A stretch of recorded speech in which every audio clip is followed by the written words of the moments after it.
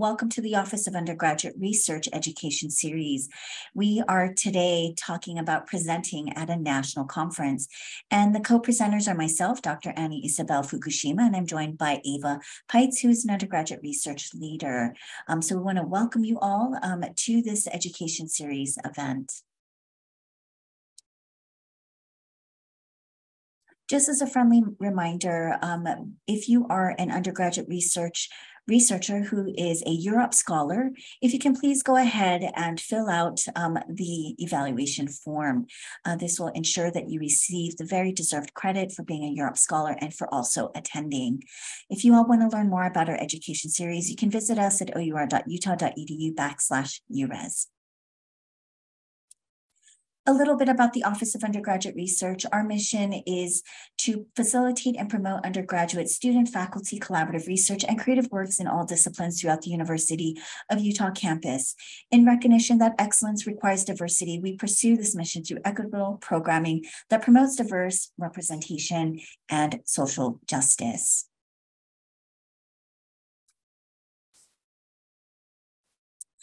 We also want to acknowledge that this land, which is named for the Ute tribe, is the traditional and ancestral homeland of the Shoshone, Paiute, Goshute, and Ute tribes. The University of Utah recognizes and respects the enduring relationships that exist between many Indigenous peoples and their traditional homelands. Oops, sorry getting ahead of myself, folks. Um, we respect sovereign relationships between tribes, states, and the federal government, and we affirm the University of Utah's commitment to a partnership with Native nations and urban Indian communities through research, education, and community outreach activities. So I'm Dr. Annie Isabel Fukushima. I am the Associate Dean of Undergraduate Studies and the Director of the Office of Undergraduate Research. I'm joined by Ava. Ava, do you want to just quickly introduce yourself? Yeah, absolutely. Um, I'm Ava. I am an undergraduate research leader working under Dr. Fukushima. Um, I'm a third year student, third year undergrad at the U right now, and I'm studying political science and psychology. Yeah, and and Ava's also our IRB specialist, so um, we're not here to talk about that, but if that ever comes up, you're welcome to ask that. Um, so welcome, Ava. We're happy to be here. So we're just going to get into why should you present at a conference. Presenting at a conference increases self-efficacy. Albert Bandura um, discusses self-efficacy as a belief in one's capacity. And so we know that for when students oftentimes participate in research activities, which include presenting research, they oftentimes have a better sense um, and stronger belief and their capabilities. It also is something that if you're interested in graduate school, we know that students who participate in professional activities like presenting research, they are more likely to aspire towards graduate studies. And so there is definitely a correlation there. And so in general, we know that presenting at conference is a good. We also know that when we look at our students, uh, we do and we do semester poster evaluations, is that what we find is that when our students participate in uh, presenting in research, that um, they show a mastery of identifying, utilizing previous research. They're able to articulate research question, identify appropriate methods, and um, majority of our students are able to present research effectively. They've mastered that, but you can only master something that you've been practicing. And we know for sure that when you participate in national conferences, it is a great way to um, practice and master um, the way that you're speaking um, about research here are some examples of national conferences. There's the AERA, the American Educational Research Association. I attend the American Sociological Association. I also attend the American Studies Association. There's also the annual Biomedical Research Conference for minority students, Law and Society, National Association for Women's Studies, National Academy of Engineering, National Medical Association. This is not a comprehensive list. There are many national conferences that you can participate in. And for all of you, um, or for many of you who are joining us today, you're here because you are actually joining NCUR. Not all of you are, maybe you're here for other conferences you're attending, um, but NCUR is the National Conference on Undergraduate Research. The first conference was held at University of North Carolina um, in 1987, and it had 400 participants that came from across the country. So NCUR is dedicated to promoting undergraduate research, scholarship, and creative activity in all fields.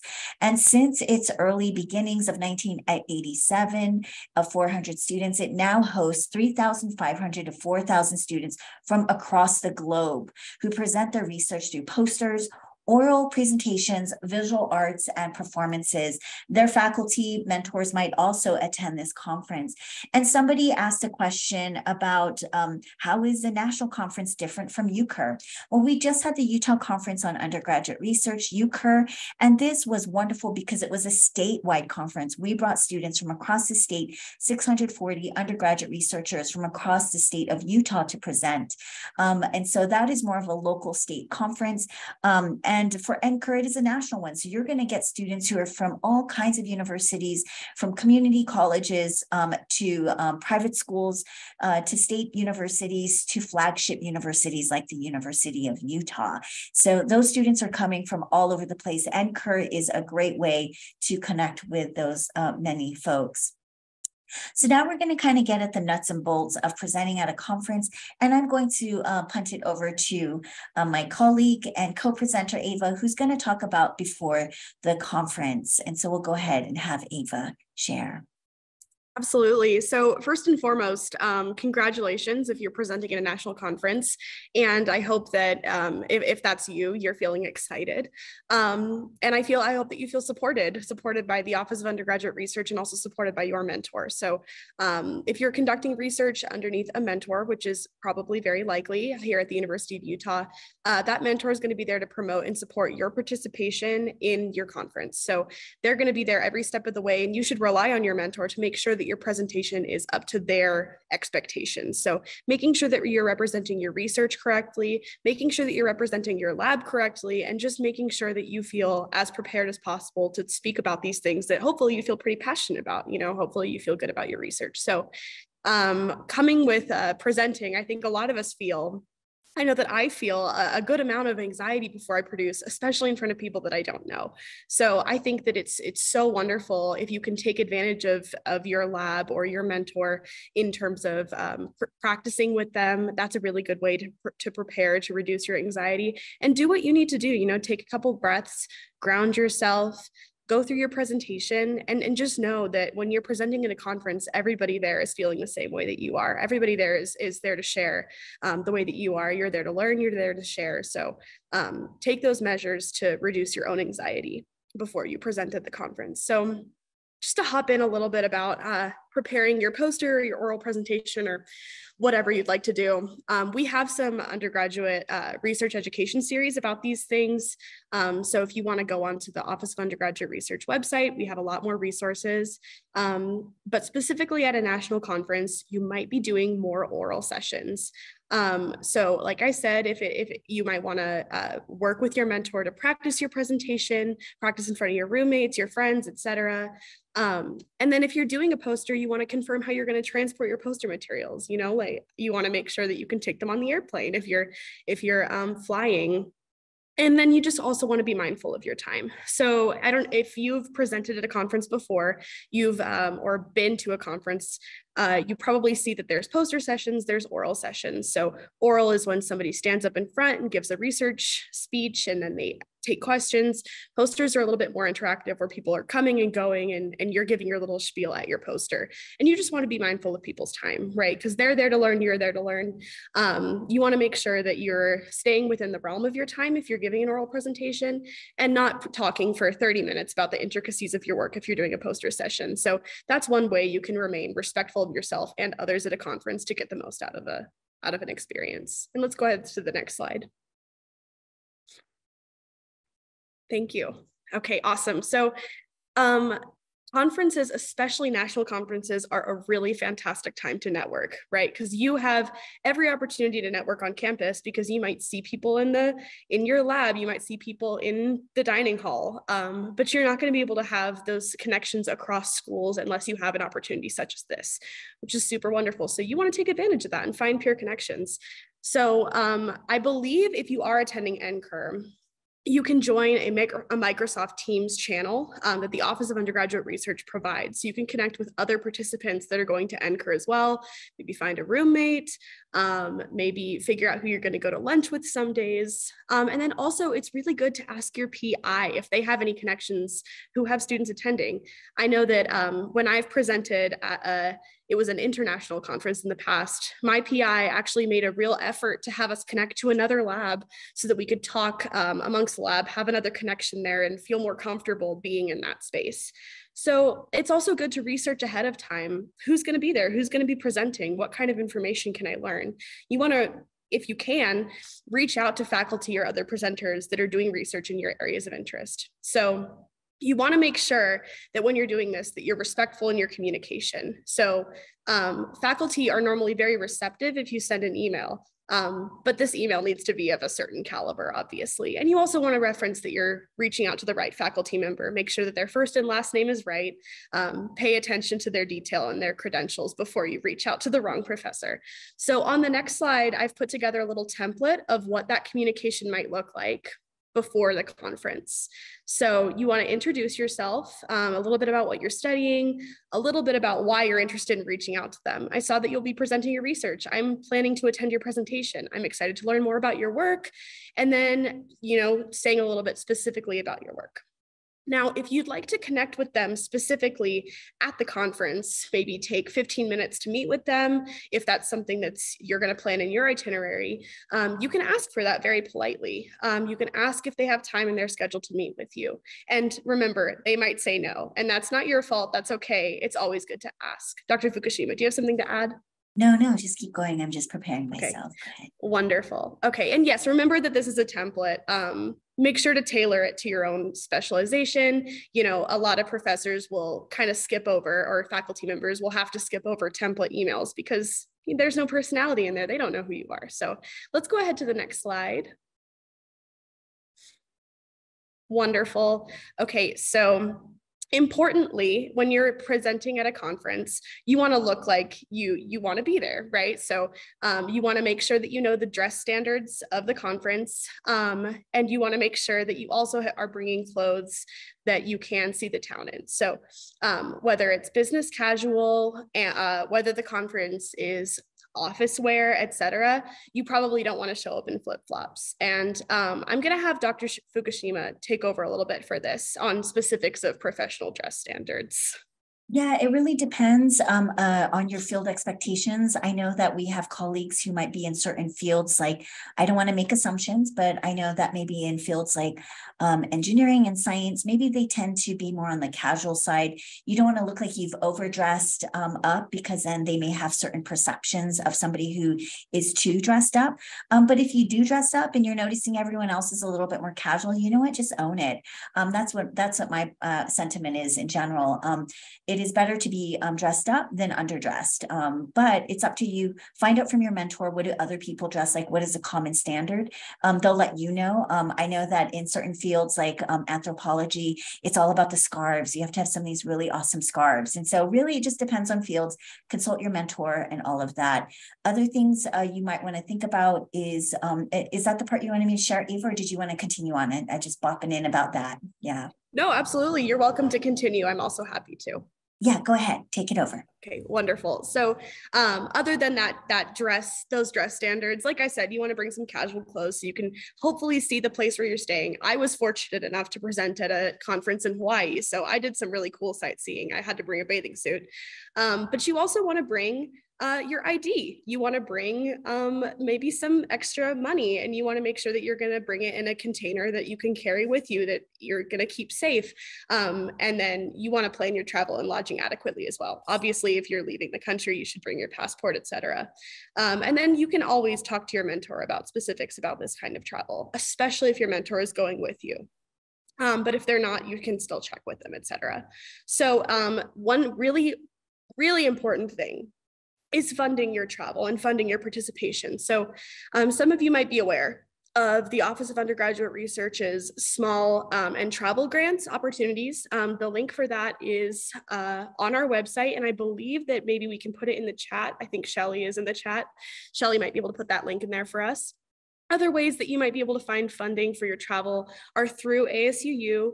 Um, your department might have some funding available. I was fortunate enough that my lab was funding me um, when I was traveling to a conference. That is not the case for everybody. So it's good to be aware of all of your resources, and there are more resources on our website. Um, and then, like I mentioned before, uh, if your lodging um, is not provided by the conference, you can always reach out to those peer connections that you know from the U that are coming, or if you are connected to other people from other institutions by your PI, um, you can always room with those peer connections to cut down on costs and also to have that really wonderful um, bonding opportunity. Let's head to the next slide. Beautiful. Okay, so really importantly, you want to get the most out of this presentation opportunity. You're putting a lot of effort into it. You're putting a lot of probably your funds into it um, and your time as well. So you want to pre-plan your itinerary to get the most out of this experience. Um, I strongly recommend that you schedule in the keynote speech or like the, the presidential remarks speech. So you know that's going to give you a really great sense of where the field is now so if you're presenting at a, um, a, a conference like NCUR, um, you're probably going to get a speech more like how how is the how is undergraduate research going across the country, et cetera. Um, but if you're presenting at a disciplinary specific conference, you'll get a keynote speaker that's going to talk about where the field is and um, some really important stuff in the field. You want to know that, you know, you're in the field. You want to understand where the field is. Um, and you want to look into the rest of the programming as well. Sign up for relevant presentations, sign up for relevant postering sessions, um, try to hit tabling events if you can. And also, of course, sign up for mixers if possible. You want to meet the people that you're presenting with and network. Um, it's a great opportunity to make connections and network, network, network. So um, also importantly, we talked a little bit about uh, signing up for um, all of these events that are that are conference specific. But if you can in an area that you're traveling to sign up for local graduate school visit activities um, see what kind of the academics in the area are offering. And then um, as we mentioned before it's always a great idea to connect with faculty or other presenters that are in your area of interest. Let's go ahead and move on Great. Um, thanks so much for that, Eva. Um, I'm going to also just kind of offer some, um, you know, pre-reflection, pre-conference reflections. That was really great, Eva, that you pulled that together. I know that one of the things that um, students oftentimes um, might not be thinking about, um, I know there was a question that was submitted about the difference between oral and poster presentation. Eva did a nice job of framing what that is. and so I think that one of the things you might really want to think about, though, is security and backing up your content. so what happens if your poster gets damaged? Or what happens if you um, lose your laptop or you drop it or something breaks? You really should always back up this content um, because oftentimes in many places, I shouldn't say all because I have traveled to places where they didn't have this, uh, but many places will have somewhere where you can actually print out a new poster if that's required. There might be a local uh, FedEx Kinko's or FedEx office is now called, um, or some kind of print shop. Like, um, and so just, you know, that's something you should uh, make sure you back up in a cloud that you can access wherever you may be traveling. Um, I think that one of the things you might also want to think about is where and when you print your notes. Um, do you want to take that with you, bring it on the plane with you, review that um, and check it out, make sure you feel really confident in what you're presenting. If you don't uh, print it out before you um, go on the plane, then are you going to print it out locally somewhere? Um, I think that having your notes on the phone, uh, you may find it's hard to see, hard to read. I tend to be more of a printout person, um, but I know for my friends in sustainability, they may have heart palpitations of all that paper we may be wasting. Um, and so just think about where are those notes going to be that you can easily access um, for the presentation. Some of the things we also wanted to check in about was um, pre um, safety, um, you know, kind of thinking about safety and travel. Um, as Ava um, talked about is, um, you know, make sure you have your ID. One of the things you might want to double check is, is your ID up to date? Uh, one of the worst things is to have is to travel and find out that you have an expired ID. unless if you are like one of those global trotting travelers who is, you know, using their retina itis travels through the, uh, you know, airport system with with, um, you know, uh, clear, um, you know, it might be really hard to travel if you don't have your ID. So make sure that's up to date. You can also make sure you have a copy of it in a cloud that if in case something happens, I know when I've done international travels, I always have a backup version of my ID in case if something happens to me. Um, are you insured for travel? That's something you should definitely make sure. Check in with your um, insurance, your university insurance. Um, and then also you can always check in with your mentor or follow up with the office of where do you find that information for travel and insurance. We can always share that information with you. Um, double check your bank knows that you're traveling. I know it seems like it's not a big deal, but the worst thing to have happen is you need to pay for food and your card's not working because they think somebody has stolen it because you are now out of state and are making purchases that you have historically not made. So make sure you update your bank card, uh, bank knowing with the travel plans. Um, and another thing that's important is do people know you're traveling? Have you checked in with loved ones or family or friends so that they know that you are somebody who's going somewhere so they don't worry about you and they know when you arrive somewhere and when you're coming back. Um, you know, little things um, that I like to do before I travel is I like to plan how I'll get to and from the airport to the conference. I map things. I do walk distance. I try to really check out all that very specific things um, because you may be surprised that actually where your hotel is, maybe in an area that's not very walkable. And then that means then you'll have to find other plans, whether it's using Uber or Lyft to make your way um, over to a conference. Um, and uh, the other thing is, uh, if you uh, reach out, uh, who do you reach out if something goes awry? That's something that you maybe want to make sure that you have that contact list. One of the things I was just talking with somebody about is, do you all memorize phone numbers, or do you always just keep it on your phone? If you don't memorize those phone numbers, what happens if your phone disappears? How do you know who to call? Where is that information? How do you access it? So that's something uh, to think about. Um, and with regards, I know that there was um, some questions around paying for travel. Actually, Ava, that's not correct. So we'll have Cindy Greaves go ahead and connect with those students um, about any kinds of questions around travel. Uh, somebody asked, can uh, you apply for travel and small grants? Not travel and small grants. We have a separate thing uh, for students who are traveling to NCUR. So please connect with Cindy Greaves if you have questions about covering your travel expenses and registration. Uh, thank you, Jude, for dropping in that email. The other thing I want to make sure that you all think about is that, you know, one of the things I like to say is if nobody knows it's happening, it's not happening. Um, and so it's really important to the market that you are presenting. So please make sure you share on social about the um, about your uh, conference presentation. And for some reason, it won't let me go back. There we go. So share and communicate um, on social, communicate to your professors that you're traveling, share on your LinkedIn. Uh, people can't attend your talk if they don't know it's happening. Invite other researchers. So as Ava said, connect with them. You can connect with them at the conference. You can also invite them to attend your talk and also attend theirs. Um, and that's just a mutual way to build community of researchers doing shared uh, research or have shared interests. Other things to think about is what do you know about the cultural context of the place that you're traveling to? I know you uh, for national conferences, you're thinking it's another state hey, our states have very different cultures. When I think about Utah, the culture of Utah, very different uh, from Wisconsin, very different from New Orleans. Um, and so really think about that cultural context. What is it famous for? Uh, what are the norms of that cultural context? You don't want to come across as rude. So look into that if you can, check it out, and then visit those places that are awesome and locally famous. So now we're going to transition into attending the conference. And so I'm going to punt it over to Ava, who's going to talk a little bit more about that. Yes, thank you so much. And so sorry for my error. Um, I corrected myself in the chat. Sorry, everybody.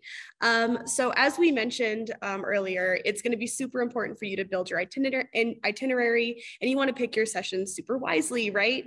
Um, making sure that you can um, have a healthy mix of spending time with people that you're coming with and spending time with people that you know, and also networking and, and, and strengthening um, some new connections. So I always encourage people to take initiative. It, it's great to say yes yes to invitations as much as possible. Make lunch and dinner plans. Um, ask people to to you know like have a chat with you and ask lots of questions. Um, I think that a really good rule of thumb in these kinds of situations is that you want to be the person who's listening. Um, if you can, in a conversation, always position yourself as the one who's asking questions, who's eager to learn, um, who's who's taking all of these new things in and trying to build connections with your already existing knowledge. That's going to be super helpful in strengthening your your networking connections.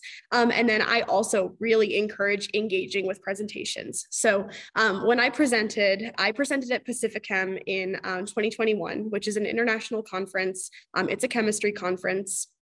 And my PI said that each of us in her lab um, needed to come up with a question at every session that we attended. And whether or not we were able to ask those questions, we would have to send those questions to her to show that we were actively engaged. Um, and whether or not your PI does something like this, I think it's a great idea to formulate and at least try to ask a question at every session, every poster presentation, or every panel that you attend. And always note these questions. Even if you don't have to send them somewhere, you should always, always note them because then you can save them for later if you're going to follow up with the presenter, which I'll get into a little bit, but I highly recommend that you do. Let's go to the next slide. Oh, all right.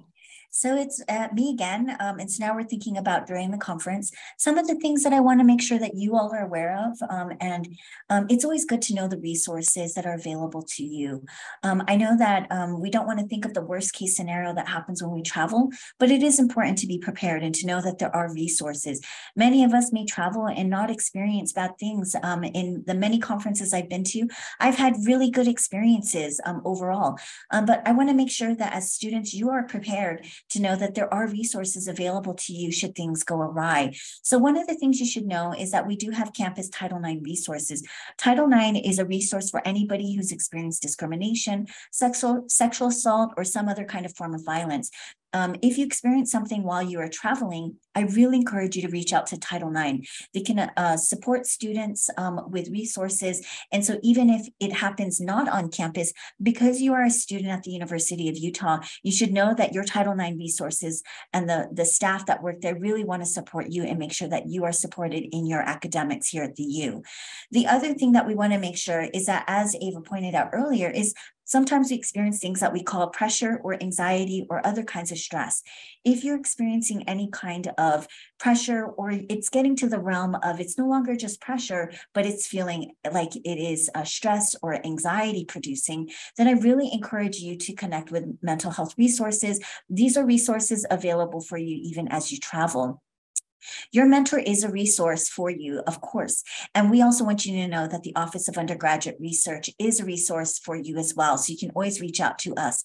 The other things that to keep in mind is that if violence or theft or other kinds of crisis happen, um, it, it may happen, it may not happen. The hope is it doesn't happen. But should these kinds of things happen, uh, one of theirs in the education series, there is this COVID-19 uh, researching in a pandemic. And the reason why I'm sharing that is because they literally talk about what they did when they uh, were in an environmental um, catastrophe. Like literally, there was something going wrong. There was an environmental crisis that was happening while they were trying to travel for research. Um, and I think they gave some really good strategies on what you might do if you're experiencing crisis while research. So crisis can happen in many forms. Um, it can be individual crises to things that are really out of your control that are societal. And so we just want you to know that there are um, uh, resources available for you. The other thing thing that I want us to uh, encourage you to think about is um, I'm just going to share some examples from my own experience. Is that um, so? Ava earlier talked about meeting with uh, folks um, and planning for that and connecting with them, um, and I did that. I remember there was a professor, um, and at the time I was um, also a colleague, but they were much more distinguished than I am, and so I just felt so excited to meet with this colleague. I was early in my academics, and I met with them. We had coffee, and they were just so kind and just were like, "Yeah, how can I support you?" I think it's really wonderful to meet with folks. Um, you never know if they have time or are willing to meet with you. It doesn't hurt to reach out. I do find that just reaching out to people also lets them know about your research and interest. So even if they don't have time to meet up with you, they may be interested in the work that you are doing. And so you are now on their radar. Um, I think that one thing I just wanted to share is that when you go to uh, different uh, conference sites, the, some of the things you might want to look into is not only the people to connect with, but the resources to connect with. So one of the things that I did when I went to a conference that was in NOLAS in New Orleans is that I went to research archive at Tulane. Uh, it was important for me to learn more about Asian migration patterns there, and I thought it'd be so cool to check out their archive. Um, and so really, there's a lot of um, research resources um, in people, but there's also actual institutional resources at the sites that you're visiting. So take advantage of those opportunities. You may not for a while have a chance to get back to that site to check out that research site.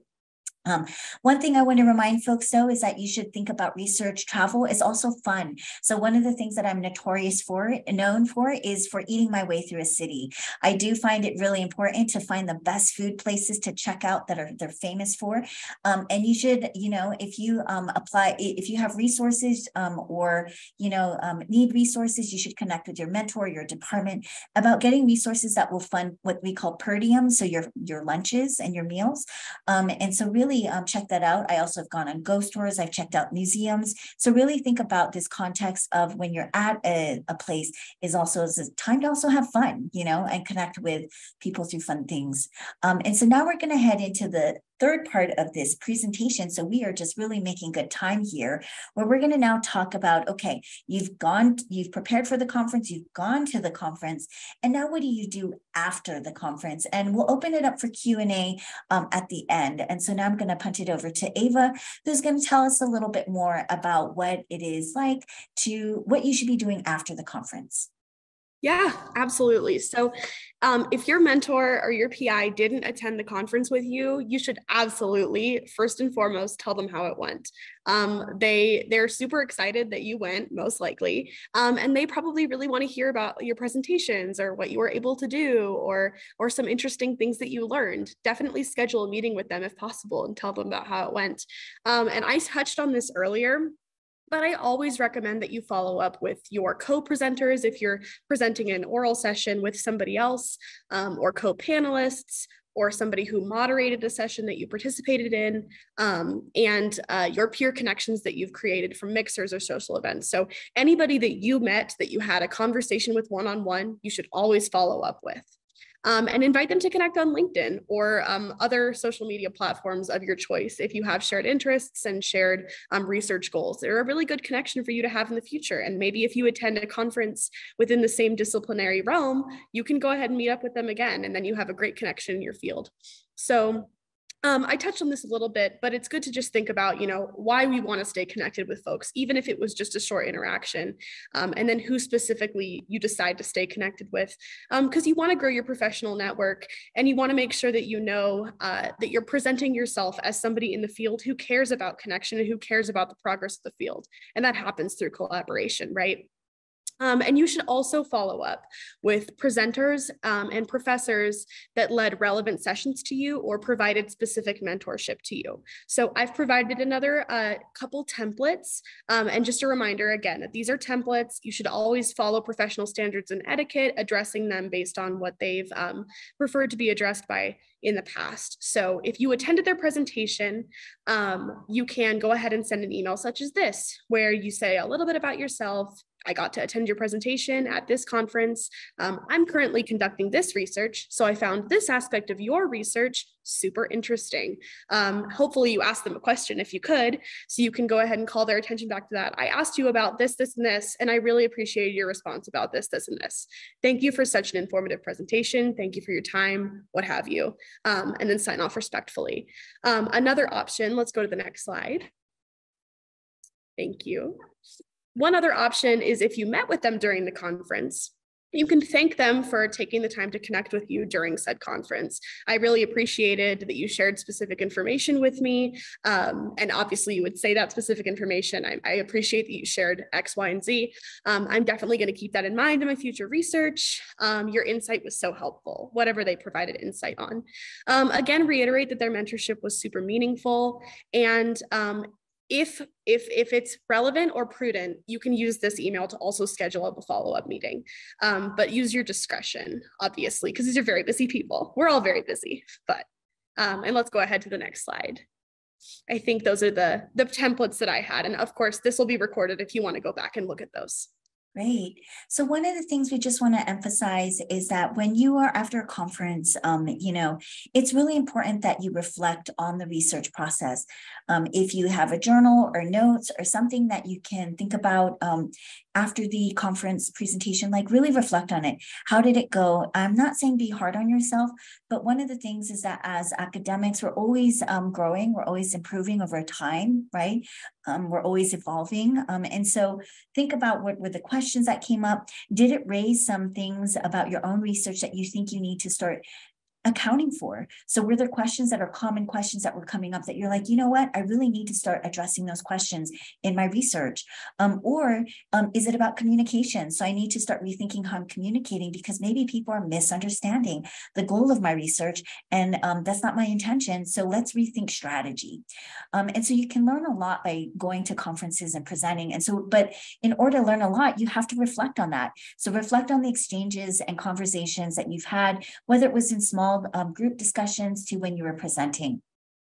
I think that one of the things that's really important to do is also reshare. So tell people about what you did afterwards, right? Reflect on it, post about it, um, share what went well, um, and then tag your friends if you have some photos, especially those new friends that you made um, during the conference.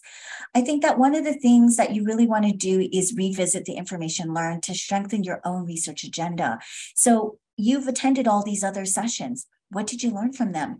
Has it actually really helped you to think about is there scholarly um, interlocutors that you've not been engaging with, but now after attending a session, you should be reading this work? You're like, you know what? Somebody used a framework that was super cool.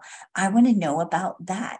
Go read about it, right? You've heard a presentation, but that's not sufficient, right? To be very rigorous about what you know about it. So go read about it, find out more about it, and deepen your own research um, interlocutors that way. So reflect, reshare, revisit. One of the things that's really important for the Office of Undergraduate Research is that you also publish your research. And so we do have a journal. We've revamped it where it it's now currently indexed. It's also searchable. Um, and so it's a it's a wonderful platform that we've been using um, that we encourage you to submit to the journal. So if you visit our journal uh, website, you'll find that there's great content. Um, we publish uh, from student abstracts to uh, full length articles to creative pieces to traditional research articles. Um, and so it's a whole gamut of research that is being published in range. And we want to invite you to submit yours, um, presentations, or something that you've done, like whether it is, um, yeah, uh, works in progress. Um, so you continue continue to have life with your research. And so that's just a little bit about that. So we just want to remind folks about publishing opportunities. Another thing that we want to share is that there is post-conference resources. So make sure you put this in your resume. Don't forget to list that you presented at this conference. There's different traditions. And so maybe some of you are now moving towards CV, so the curriculum vitae. The difference between a resume and a CV is that the CV lists literally everything. That is why your professors have like 100 page CVs. And it's okay. Don't worry if yours isn't there yet It's because you're early in your academics. It will get there, right? You'll get just as long at some point. Um, the resume really is uh, one to two pages. It's very much formulaic. No one's going to spend a lot of time reading everything. You're not going to stuff everything in there. You want to hit those high points. Um, and so depending on whether you're using a resume or a CV, uh, you know, there are some resources um, about translating research into a resume. Um, that was also an education series. We also want to remind you that these opportunities of presenting and doing research is something you can also leverage for industry if you're somebody who wants to go beyond the academy and publish your research. If you're publishing your research, there is also some resources on doing this. There's a session um, that is uh, coming up um, and Shelly uh, will share that link as well. Um, so we want to encourage you to um, join us at that event. There's a ton of education series. Um, but before we have you evaluate the event, um, I know that there was a question, so I'm going to actually go into a discussion mode. is that I know that there was a question that came up from somebody and I want to make sure that we answer this question as well as open it up to other questions, is somebody asked us, what would be the trade-off of different presentation formats, poster or oral? Um, so as um, Ava shared, is they're just very different genres of presenting. Uh, when you do a poster presentation, you're literally, um, it is literally, sometimes people are just like, they're just zooming by. You have two minutes, maybe even less, to say everything about your research. So you really need that elevator pitch and that visual to pull them in so that they can get something very quickly. What's been very popular is for people to do QR codes so then they can just do a QR code and move on to the next thing so they can go and take something from your presentation. Um, you can even do handouts. I've had students who provided postcards. So as people were coming in their poster presentation, they were giving them something because they knew those people were walking away, right? Uh, with an oral presentation, it's very standard for people to come in and sit for the full length of the entire panel session.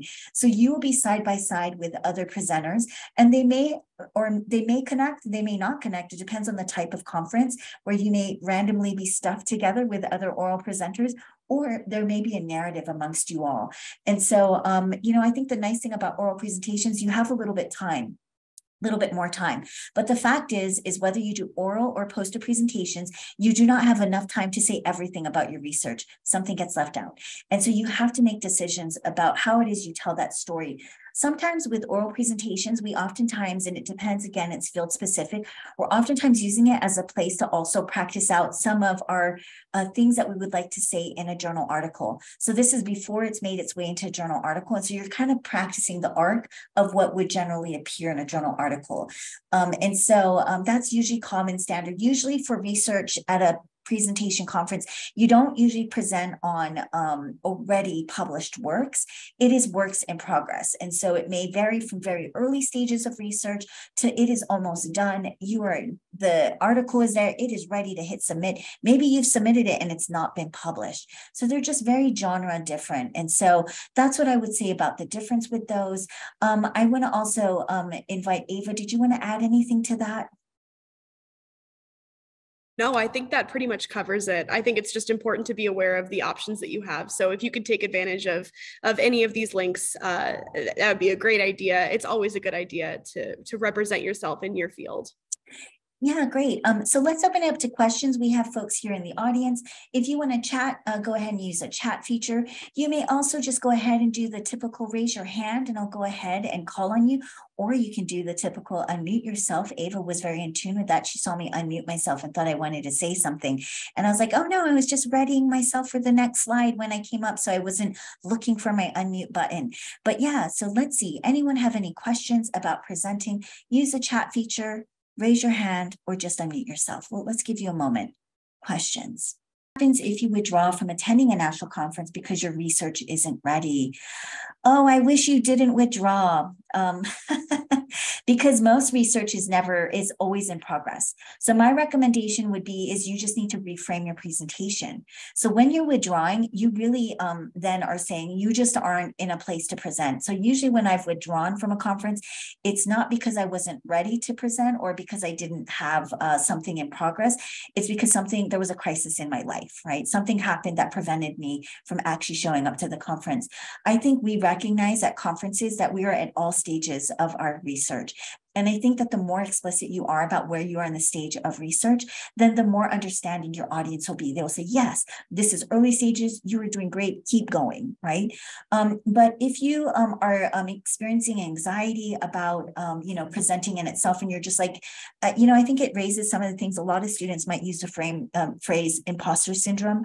Um, and that's really common, I think, across your, uh, I, I hate to say it to you folks, but it actually doesn't go away. Even when you are a veteran colleague professor, right? You actually experience like, oh, you know this kind of sense of your um, you know uh, they'll find you out. Um, but the truth is is just you actually know your research the best and especially if it's in its early stages then just frame it that way. And i've done that with students where they were early stages of the research. We um, hadn't had irb approval um, completed um, it was like still like in that pending. It was like out to irb and so we ha- actually hadn't collected data. So what we did is the student just presented on those preliminary findings of literature review that they had done. They presented on the questions, the instruments that they were um, working on, and they could get feedback on that. And so, yeah, it's I. That's what I would say um, is that there is um, all research that is always in a stage of um, to be uh, to be improved, to be bettered. Even research that is so called complete is actually still in progress because we start to find out, hey, you know what? There are questions we didn't ask that we should have asked. There were areas that we should have investigated that we should have investigated. And so, actually, all research even when it is quote unquote complete, is in progress. So that's how I would answer that.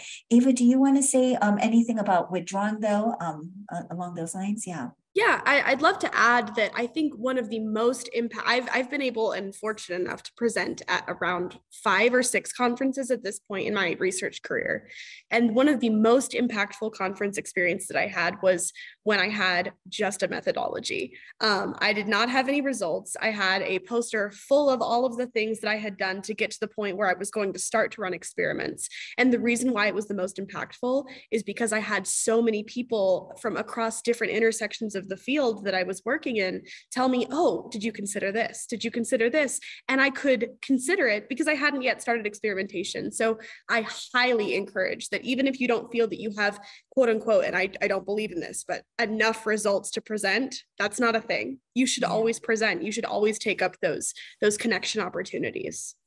Yeah, and then if you're feeling like maybe your mentor is getting on you um, because, and you're like, oh, there, it it feels like the the suggestion is I'm not ready, right? Or they're worried I'm about I'm not ready, right?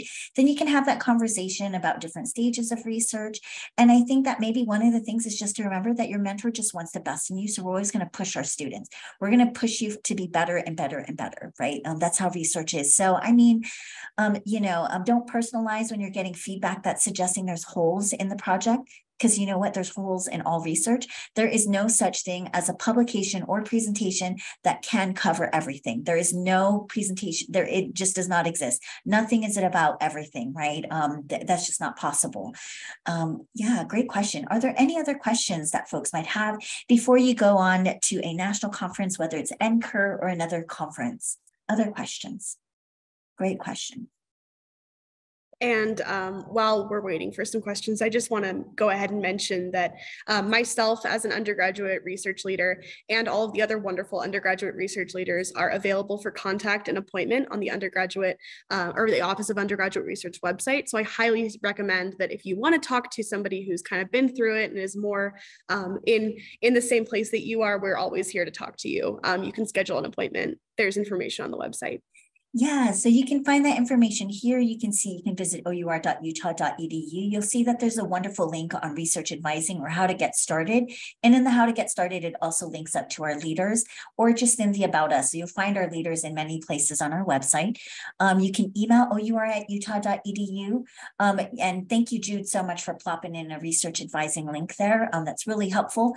Please do connect with a peer. You can also call the office. You can join our listservs, um, which we need to update our presentations now because we are now moving not to listservs, but actually we are going to use um, a different form. And so uh, we look forward to continuing to update you with information. Thank you folks for joining us. Uh, congratulations. Um, please fill out the form um, and congrats again on presenting. Thank you, Ava, for sharing your insights and experiences.